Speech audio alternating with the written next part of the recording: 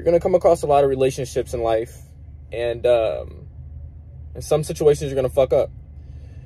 Um, you're going to make a lot of mistakes. You're going to say things you didn't mean. Uh, you're going to do things you shouldn't have done. Um, and that's just a part of life. But just remember, you're not a bad person. Parts of you just need improvement. All right.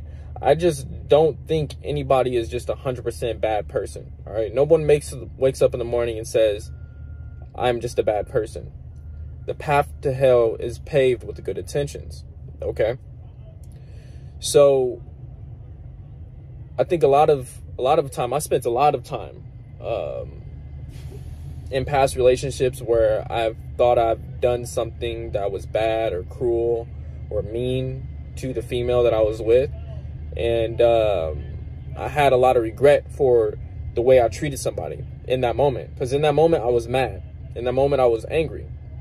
Um, so with that type of emotion, I'm not thinking logically about the situation. I'm not thinking about, hey, this is a human being across. Just like me, just like I'm a human being, I'm seeing out of my eyes. This other person across from me is a human being. They have their own little life in their own little world.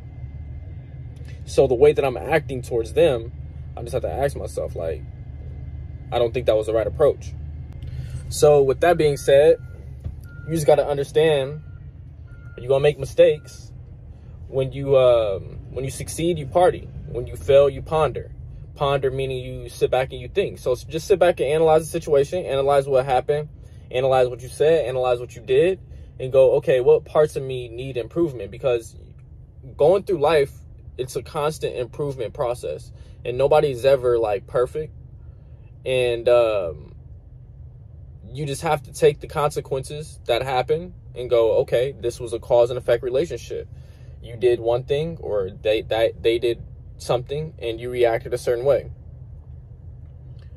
So you have to analyze that and go, okay, well, how do I get better? How do I reapproach this situation? Because I'm not a bad person, all right?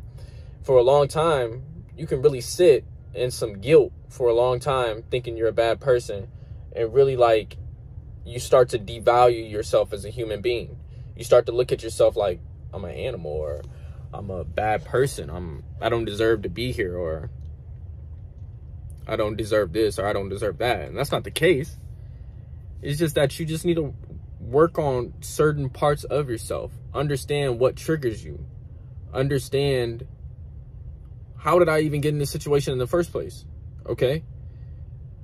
And once you understand that, you understand, okay, well, next time I'm not going to get myself in this situation. I'm going, before we even get into this situation, I'm going to just avoid that situation altogether.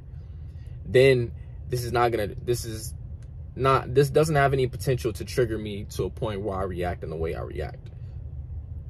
Where it wasn't a good outcome that I wanted. All right.